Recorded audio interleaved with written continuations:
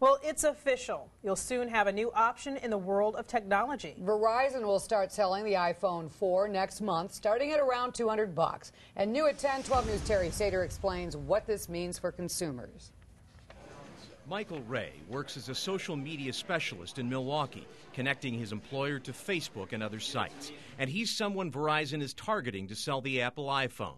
My wife and I waited for about six months waiting for Verizon to get an iPhone, and we wanted the phone bad enough that we went ahead and got it on AT&T.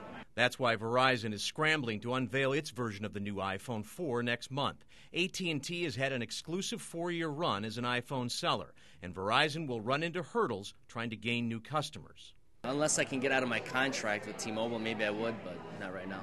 Dave Haseman is the director for UW Milwaukee's Center for Technology Innovation. He has a new AT&T iPhone and says while competition is good, it's unlikely AT&T will lose a lot of business to Verizon. You're going to have to get out of your AT&T plan before you can move. So I don't see a big movement of folks away from AT&T. In addition, the professor says Verizon's first version iPhone won't run as fast, so you might want to wait a few months until Verizon sells the iPhone 5 and also because of differences in technology, AT&T versions of the iPhone won't work on Verizon's network. You'd have to buy a new phone.